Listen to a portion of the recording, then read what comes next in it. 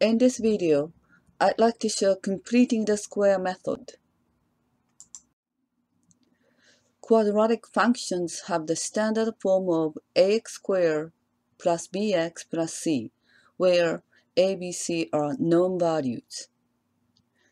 Changing to the form to a bracket x plus h squared plus k is called the vertex form by completing the square.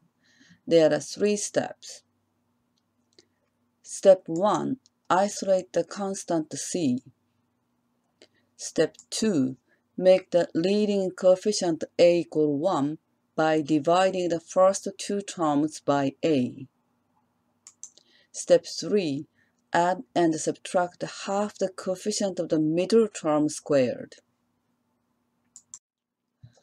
Let's take a look at the example A. First, identify each A, B, and C value. Step 1. Isolate the constant 26. Step 2. This question has A equal 1 already.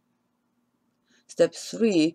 Add half the coefficient of x term squared and then subtract the same value to keep the original expression. Add minus 1 squared and subtract the same value. Now make the square form for the first bracket group. Take x from the first term and take the negative 1 from the last term. Then simplify the second bracket group 26 minus 1 which is 25. So the vertex form becomes x minus 1 squared plus 25. If you expand the vertex form, you should get the standard form on the left. Let's take a look at the example B. First, identify each A, B, and C value. Step 1. Isolate the constant negative 2. Step 2. This question has A equal 1 already. Step 3. Add half the coefficient of x term squared and then subtract the same value to keep the original expression. Add 3 halves squared and subtract the same value. Now make the square form for the first bracket group.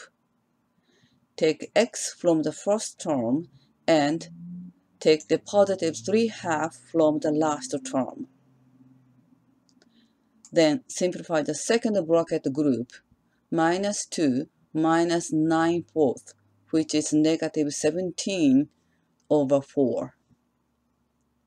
So the vertex form becomes x plus 3 half squared minus 17 over 4. If you expand the vertex form, you should get the standard form on the left. Let's take a look at the last example C. As you can see, the leading coefficient is 3 in this case. Step 1. Isolate the constant negative 30. Step 2. Divide the first two terms by 3 to get 3 times x squared minus 8x. Make some space after the second term. Step 3. Add half the coefficient of x term squared and then subtract the same value to keep the original expression. Add minus 4 squared inside the bracket and subtract 3 times minus 4 squared outside. Now make the square form for the first bracket group. Please keep 3 in front of the bracket. Take x from the first term and take the negative 4 from the last term. Then simplify the second bracket group, minus 30 minus 48, which is negative 78. So the vertex form becomes 3 times x minus 4 squared minus 78. If you expand the vertex form, you should get the standard form on the left.